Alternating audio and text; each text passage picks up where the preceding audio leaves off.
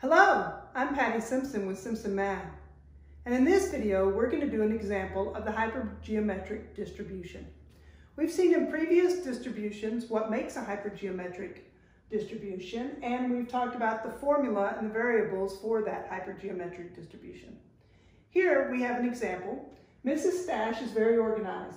She keeps her four knives with Tiny Tim's 16 toys in the playroom bin. So we have a population of items in the, pop, in the playroom bin. In fact, we have a total of 20 items in that population. So our N in this example will be 20. Our population size will be 20. Tiny Tim blindly selects three items from the playroom bin without replacement. That without replacement is what makes that hypergeometric hypergeometric rather than binomial. The fact that we are not replacing. And here he is selecting three items, so his sample is three items. So our sample size is three. Now, we also need to know what is the probability that Tiny Tim selects at least one knife. So our K is the total number of successes that we have. In this case, our success is for him to choose a knife. So we want to know the total number of knives in our population, and that is four. And Tiny Tim is going to choose exactly, no, at least one of those, at least one. So let's talk about what it means to be at least one. So if the doctor tells me I need to put on at least one bandage, that means I need to put on one or two or three or more. I can put on one or more bandages.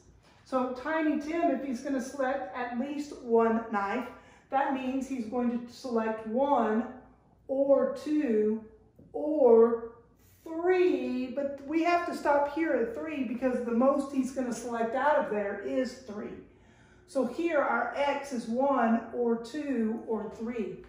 So in order for us to use this formula, we need to find the probability where x equals 1 plus the probability that x is 2 plus the probability that x is 3. And add all those together. Remember those ors tell me to add that together and then if there happens to be any overlap, subtract that off.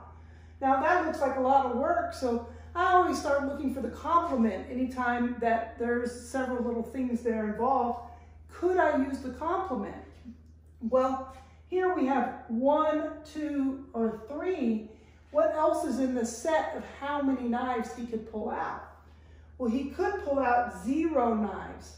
So zero is the complement of one, two, and three. That at least one. So zero is the complement. So we could just say that the probability of this is equal to 1 minus, so let me write it up here, the probability of 1 plus the probability of 2 plus the probability of 3 is equal to 1 minus the probability of 0, because 0 is the complement of 1, 2, uh, or 3. And so if we just subtract that from 1, we'll get that probability. It's kind of like when the weatherman tells you there's a 60% chance of rain, the complement then is that there's a 40% chance that it won't rain. So we can take and subtract the, the complement to get um, the probability that it won't rain or that he gets at least one. So we're going to only have to find the probability of zero knives. So now I'm going to use my formula. In the denominator, I'm going to put the total number of ways that he could choose three items from his 20. He's got a population of 20 and he's choosing three. And in the numerator, we're going to put what he's looking for, the total number of successes. So he has a total number of four knives. But we're going to find that complement, so we just want zero there. So now, if there are four knives or four successes in there to make up the 20, well, how many toys are there or how many failures are there? There are 16. And if he is choosing zero knives, how many of the toys would he have to choose? He would have to choose three toys. So now we've filled in for our formula. Notice that 0 plus 3 does equal 3, and 4 plus 16 does equal 20. Those should always add up like that. Now it's just a matter of doing the combinations. 4 choose 0. Hopefully you've had enough work now with combinations that you know when, z when we're choosing 0 items, we're just going to end up with 1 there.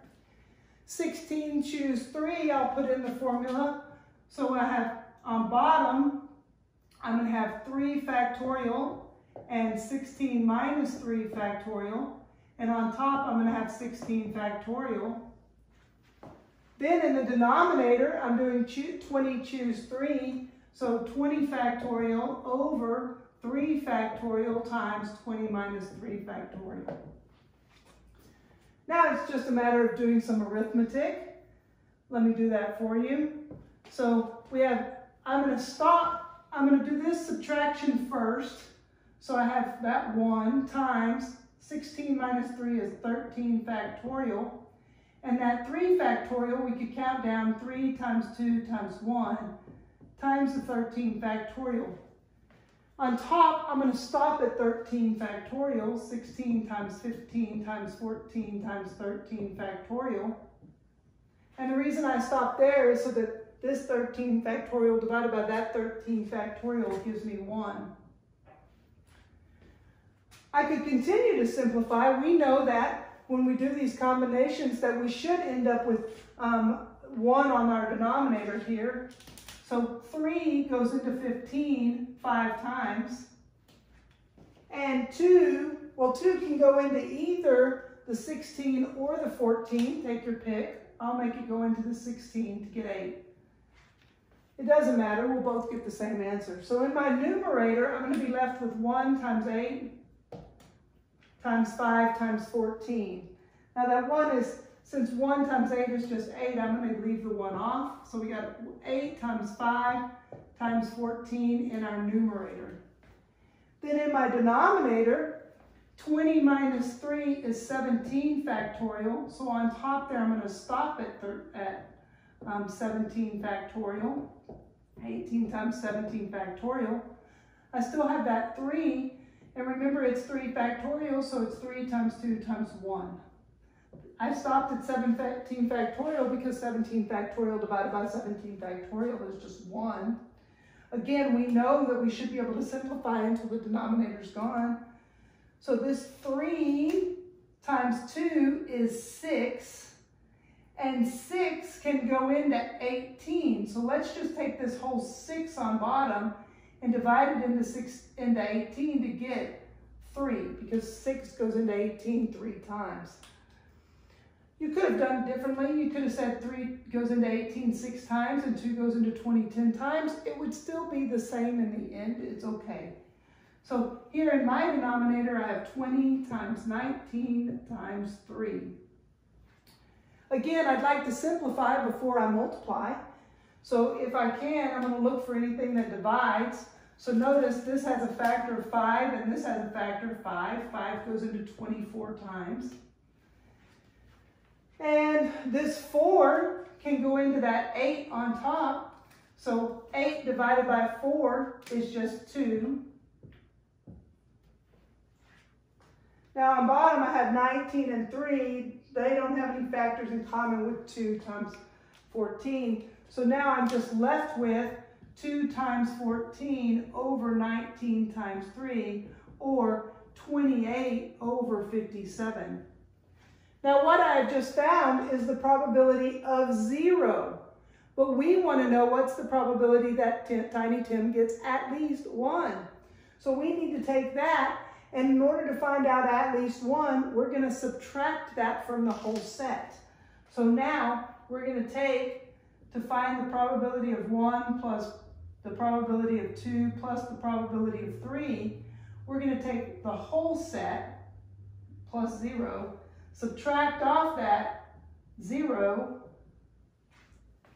the probability of 0, and we end up with 29 over 57 is our probability that he gets at least one knife. So there's an example of our hypergeometric distribution. Math made simple, it's Simpson Math. Thanks for watching.